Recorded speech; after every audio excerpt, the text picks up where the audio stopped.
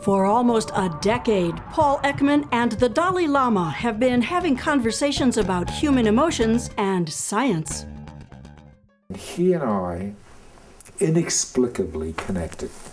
And uh, he wrote about that in uh, one of his most recent books, The Universe in a Single Atom, that uh, he felt this immediate connection. Uh, more recently, he's told me, well, you know, we were brothers in a previous incarnation, and uh, I can't explain it. I mean, in the Western terms, we'd say it's a deja vu. When I met him, I felt like I'd always known him. And uh, so he's very amused that he can explain and I can't. uh, but I, I, when I met with him earlier today, I gave him my interpretation of reincarnation.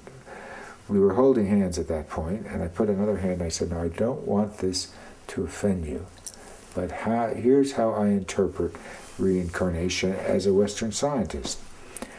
That it, it's a brilliant metaphor, tw- almost 2,600 years old, for the idea that when we enter the world, we're not tabula rasa.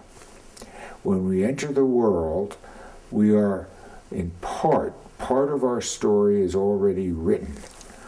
Now, they didn't know at that time that reincarnation, I've read how the past influences the present, but it does, and it does it through genes. So we have now discovered the mechanism in, that shows the influence of the past. So then we got into a very interesting thing because the, if you take people who show what I call heroic compassion, it's one of one, two, three. It's one of four types of compassion that I'm distinguishing now that I talked with him about both in the book, but I've changed positions a little bit. Would you expect, if you have heroic compassion, if you're the person who jumps into the subway and pulls that person out without thought, a total stranger, or rescues a total stranger from the pond, perhaps losing your own life so that they don't drown? Would you find in their family line, in their grandparents, or uncles, or aunts, cousins, would you find others who have this proclivity?